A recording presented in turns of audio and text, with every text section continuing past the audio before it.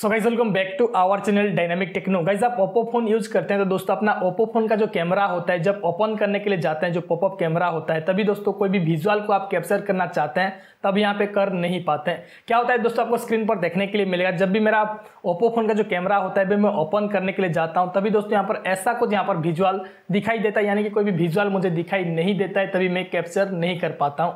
तभी मुझे many challenges face करने के लिए पड़ता है दोस्तों। आपका भी ओप्पो फ़ोन में ऐसा कुछ सेम टू सेम प्रॉब्लम आपको दिखाई देता है तो ये प्रॉब्लम का आपको कैसे सॉर्ट आउट करना है दोस्तों, आज की इस वीडियो पर हम पूरी डिटेल पर डिस्कशन करने वाले हैं। इस वीडियो को देखने के बाद दोस्तों, जो आपका ओप्पो फ़ोन का कैमरा का प्रॉब्लम होता है, वो सॉर्ट आउट हो जाएगा। तो चलिए दोस्तों, बिना किसी टाइम के वीडियो को स्टार्ट करते हैं। सबसे पहले दोस्तों, आपको देखने के लिए मिलेगा, मैं स्क्रीन पर आ चुका हूँ। जब भी दोस्तों, मेरा ओप्पो फ़ोन में कैमरा को मैं ओपन करने के लिए जाता हूँ, जो मेरा पॉपअप कैमरा यहाँ पर कोई भी विजुअल मुझे दिखाई नहीं देता है। चलिए, मैं मोबाइल को अनलॉक करके दिखा देता हूँ। यहाँ पे अनलॉक करने के बाद मैं कैमरा को ओपन करता हूँ। यू कैन सी दोस्तों, यहाँ पे ओपन करने के बाद जो मेरा रियर कैमरा होता है, वो परफेक्टली आ जाता है। लेकिन यहाँ पर जब मैं फ्रंट कैमरा यहाँ पे करूँगा, तभी दोस्तों यहाँ पर कोई भी विजुअल मुझे दिखाई नहीं देता है। देखने के लिए मिलेगा फ्रंट कैमरा करने के बाद। जो मेरा पॉपअप कैमरा होता है, वो ऊपर में आ जाता है, लेकिन कोई भी विजुअल मुझे दिखाई नहीं देता है और उस वक्त पर मेरा मोबाइल हैंगअप हो जाता है। यहाँ पर बैक भी मैं नहीं कर पाता हूँ। देखने के लिए मिलेगा दोस्तों यहाँ पर ऐसा कुछ यहाँ पे प्रॉब्लम आ जाता है।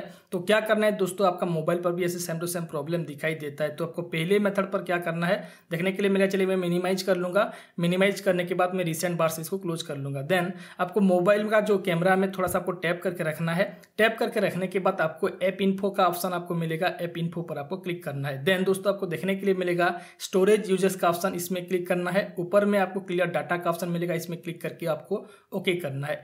देन दोस्तों, आपको बैक चले आना है। बैक चले आके ऊपर में फोर स्टॉप का ऑप्शन मिलेगा आपको। फोर स्टॉप पर क्लिक करना है। देन आपको यहाँ पर फोर स्टॉप पर अगेन क्लिक करना है। देन आपको देखने के लिए मिलेगा। करने के बाद जो आपका कैमरा होता है, वो फोर स्टॉप हो जाएगा। देन आपको बैक चले आके अपना मोबाइल को एक बार रिस्टार्ट कर सकते हैं। रिस्टार्ट करने के बाद दोस्तों आपको चेक करना है अपना मोबाइल में जो कैमरा होता है वो फ्रंट कैमरा आ पाता है या फिर नहीं।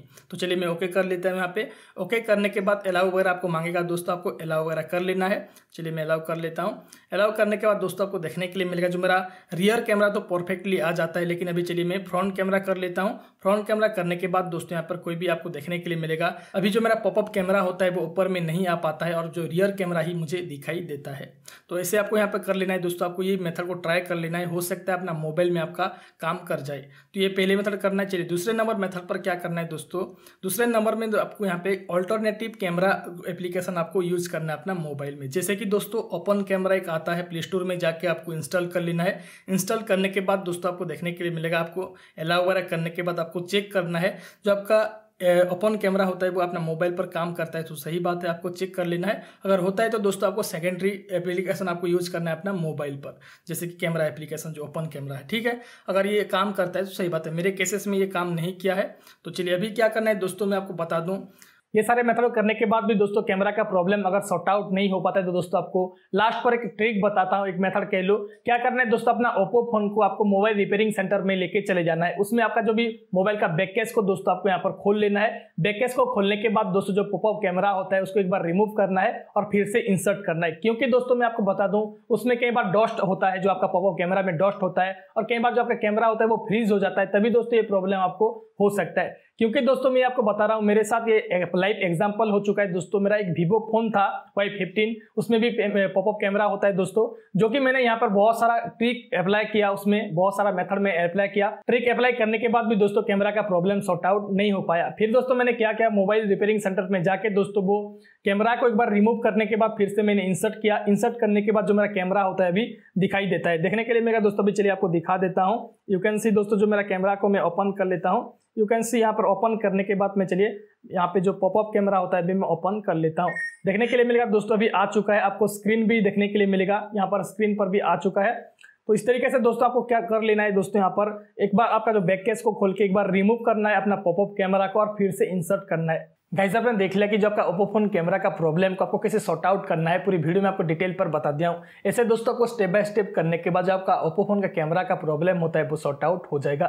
उम्मीद करता हूँ दोस्तों वीडियो आपको अच्छा लगा अगर दोस्तों, आपका वीवो फ़ोन में प्रॉब्लम आपको दिखाई देता है तो कैसे सॉर्ट आउट करना है दोस्तों, एक डेडिकेटेड वीडियो में पहले से बना के रखा हूँ। उसका जो लिंक है, आपको आई बटन में एंड स्क्रीन में और डिस्क्रिप्शन में प्रोवाइड कर दूँगा, जाके चेकआउट कर सकते हैं। और अभी तक मेरा चैनल को सब्सक्राइब नहीं किया तो सब्सक्राइब करके बेल आइकन को ज़रूर प्रेस कर देना। तो मिलता हूँ मैं नेक्स्ट ऑसम वीडियो के साथ, तब तक के लिए विदा वीडियो पूरे देखने के लिए आपको बहुत बहुत शुक्रिया have nice day see you soon Jai Hind.